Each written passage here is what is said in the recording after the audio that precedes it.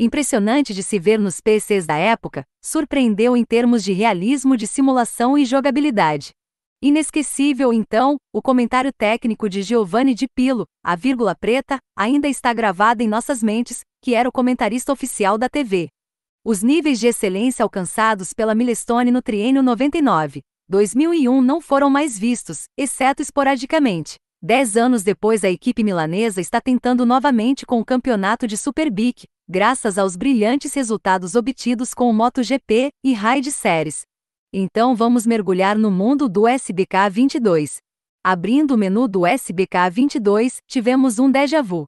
Desde os primeiros momentos, de fato, nos encontramos diante de gráficos e HUDs já vistos no MotoGP 22. A impressão inicial foi a de ter aberto o título errado. Dentro do primeiro poderemos iniciar uma nova rodada, um novo campeonato ou um simples desafio de tempo. O modo multiplayer será muito semelhante ao já visto no MotoGP 22. Será possível desafiar nossos amigos através de finais de semana de corrida completos ou eventos únicos. Também poderemos desafiar oponentes de todo o mundo em time trials. Sempre no menu inicial, poderemos acessar os tutoriais, personalização e conteúdos adicionais, atualmente vazios. Como mencionado no início, o título de casa da Milestone disponibilizará a lista oficial de pilotos, sem, no entanto, incluir as categorias menores. Em SBK 22 faltarão as Supersports, a Supersport 300S. Portanto, não há possibilidade de crescimento de categoria, como estamos acostumados a ver no MotoGP. O modo carreira, na verdade, se inspira muito no modo carreira da F1 de várias maneiras, você é encarregado do gerenciamento de sua equipe, controlando todos os aspectos fora dos trilhos, desde pesquisa e desenvolvimento até os contratos dos membros da equipe e as cores e designs da equipe. Na verdade, não há muito aqui que não seja extraído da F1S, até mesmo na interface do usuário, mas infelizmente é muito menos profundo do que sua contraparte.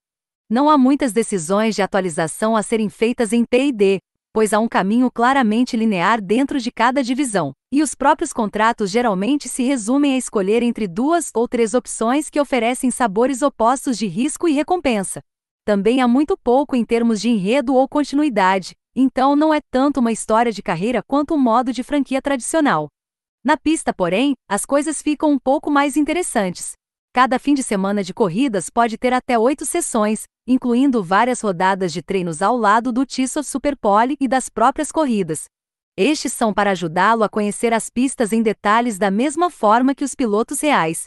Você pode alterar a posição da moto do seu piloto e escolher até que ponto da sua moto você deseja controlar, bem como ajustar os tipos de pneus e a quantidade de combustível colocada na moto.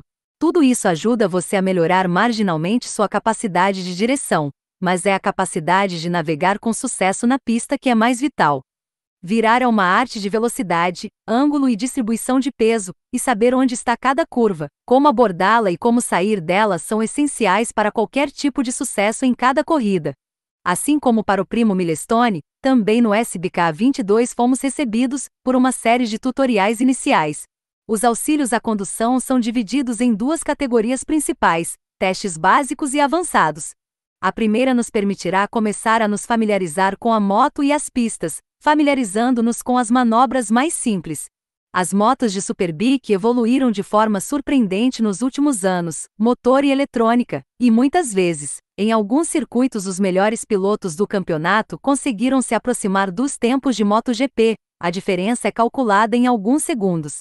O pacote pneu-chassis proposto pelos derivados de produção é mais fácil de gerenciar do que um protótipo da categoria mais alta que exige um estilo de pilotagem extremamente limpo. Pelo contrário, as motos SBK tendem a se mover muito, são mais nervosas e menos rígidas.